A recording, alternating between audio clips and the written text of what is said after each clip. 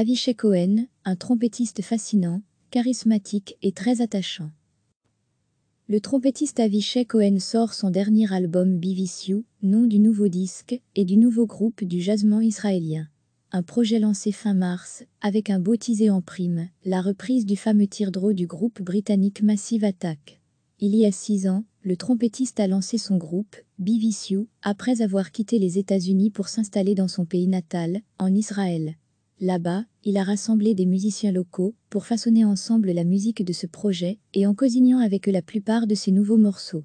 Cette approche commune de la création a été un nouveau départ pour Avishai Cohen, qui n'avait pas encore écrit avec d'autres musiciens. Le groupe est une association de vieux amis.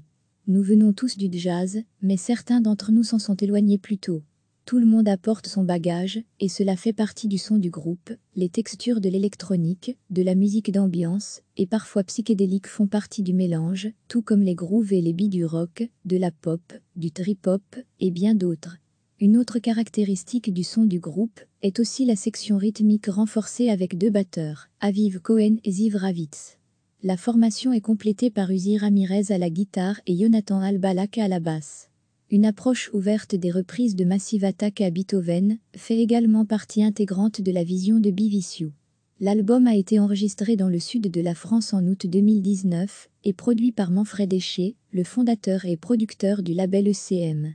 Avishai Cohen était l'invité de Patrick Bivor dans son émission Classique 21 Lounge sur Classique 21.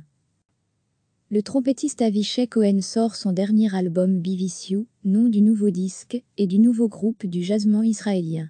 Un projet lancé fin mars, avec un beau teasé en prime, la reprise du fameux teardrow du groupe britannique Massive Attack. Il y a six ans, le trompettiste a lancé son groupe, Be après avoir quitté les États-Unis pour s'installer dans son pays natal, en Israël.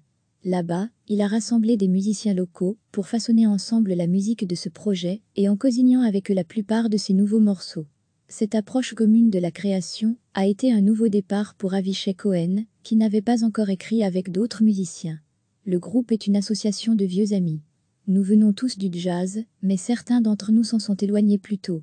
Tout le monde apporte son bagage, et cela fait partie du son du groupe.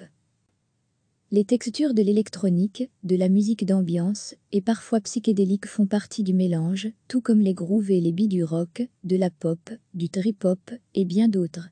Une autre caractéristique du son du groupe est aussi la section rythmique renforcée avec deux batteurs, Aviv Cohen et Ziv Ravitz.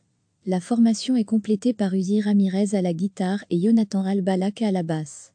Une approche ouverte des reprises de Massive Attack à Beethoven fait également partie intégrante de la vision de Biviciu. L'album a été enregistré dans le sud de la France en août 2019 et produit par Manfred Eché, le fondateur et producteur du label ECM. Avishai Cohen était l'invité de Patrick Bivor dans son émission Classique 21 Lounge sur Classique 21. Cliquez sur s'abonner pour recevoir les dernières nouvelles.